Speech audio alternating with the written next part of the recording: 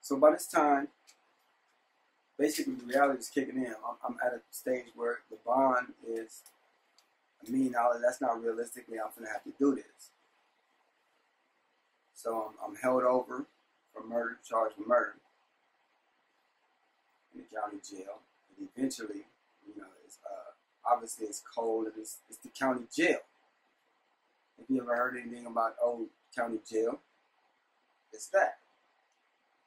And eventually, um, three days in, I am I'm, I'm, allowed to see a public defender, and it's a, a woman named Lori Harris.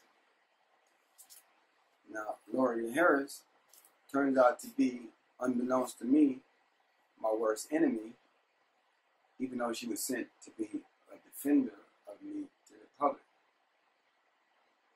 Um, and, and eventually, uh, she revealed that over time as we, we got into the point of trying to prove my innocence. Now, you got to understand, for me and for everybody around me, we perceive this as you know, you didn't do this. You know, don't don't worry, you'll be fine. You didn't do this. Like this is okay. Yeah, that is serious charges, we, we get that. But you didn't do this. You, it, this will work out. Don't worry. And then when it wasn't when it wasn't working that way, when it was pulling some railroading you shit, then it was like, oh shit. But by that time, that train had left the station, and this was inevitably what had to be faced. So, uh, introduce Lori Harris. Lori Harris is a public defender who is actually working with the district attorney to for the city of Los Angeles to um, meet a certain quota in regards to convictions. And I don't know nothing about this um, in regards to something tied in with the judge, Judge Pounder. Uh, judge Pounder is since with, uh, deceased, but uh, he has some aspirations about mayorship, if I'm not mistaken or some about politics, uh, nonetheless. But the point I'm making is that I, I found myself in some sort of uh, dump truck situation in regards to this woman have zero interest in defending me in regards to the charges before me. So I'm I'm innocent, thinking like, okay, well, you you you public defender, uh, you don't get paid much. I'm gonna make this real easy for you. I'm innocent. Here, let me show you, right? And then this bitch goes, let me see that. Yeah, no, that don't exist no more. And it, and it doesn't work exactly in that fashion per se, but it works kind of in that fashion, right? Is that when I tell her about, I have evidence to prove X, Y, and Z that I'm innocent, and then she takes that information I give her. She's supposed to be my attorney working for me. She takes that information I give her and tells the the enemy, this person, this person that you were fighting has information that can prove he's innocent. The district attorney found ways to block what I told her I had. And this is, like I said, this is merely an example the kind of things she used to pull. I'm gonna get into all of the details of all of the things in regards to, you know, ticket stubs that the police had that uh, didn't manifest that proved my innocence, alibis, whatnot, you know what I'm saying, in regards to where I was that I didn't kill Larry Jenkins. But none of that stuff mattered. You know, uh, when I look at it in the big picture, because ultimately I was part of a machine that had to get swallowed up. I was, my number was, they had figured out a way to make it me.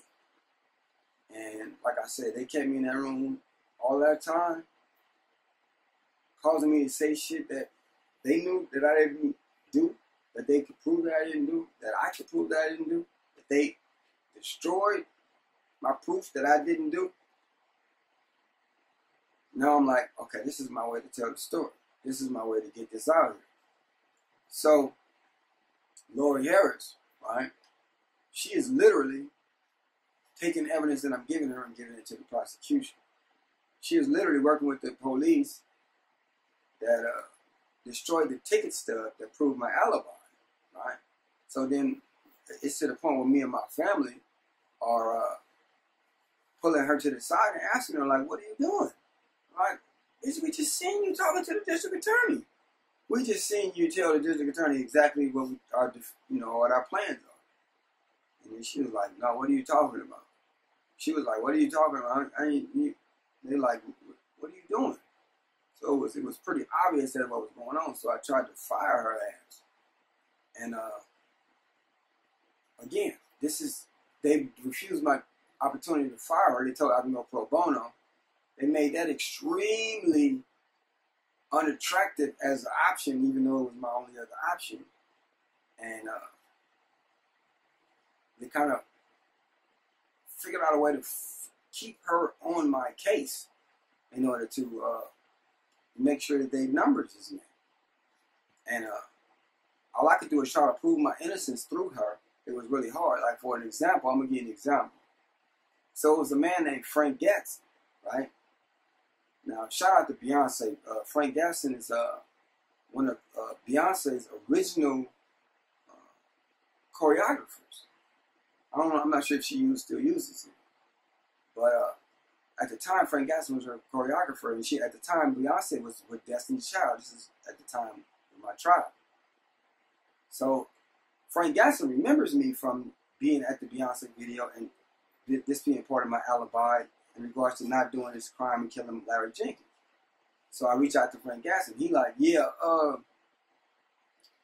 you know, Frank Gatson. Shout out to Frank Gatson. He uh, he don't look at it like, oh yeah, I ain't getting involved in that shit. He like, and I remember you.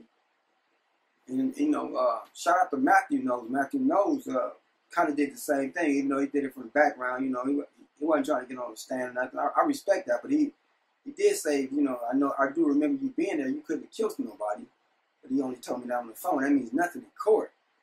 So we in court, right? And uh, I tell Frank Gatson, I say, look, man, uh, let me just drive you to court, right? And he's like, what do you mean? I say, let me just let me just provide you to get to court. Like just show up to court and you won't get a stand. He's like, no, no, no, I need to talk to your attorney. I say, no, nah, don't worry about that. Right?